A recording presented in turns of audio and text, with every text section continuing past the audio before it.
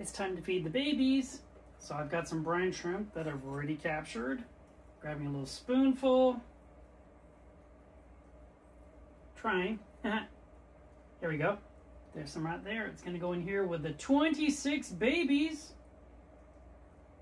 So I don't want it to just sink to the bottom in a puddle. I want it to be dispersed. So I'm kind of encouraging it to stay at the surface and not just be a blob. And then the rest is going to go in the tank.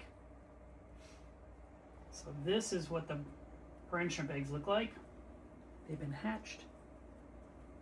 And now they're just going to go in here. And again, I'm going to do the same principle because I don't want the food to sink to the bottom. I want all the fishes to get some.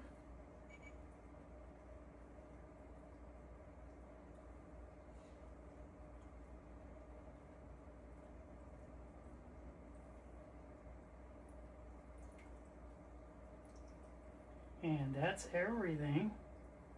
That should take care of every hungry mouth in there for the next 24 to 48 hours.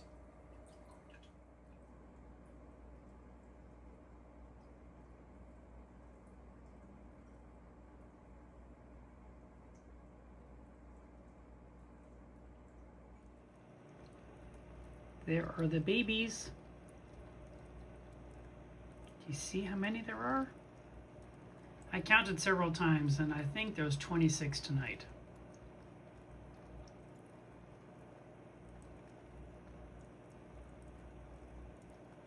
They look like tadpoles.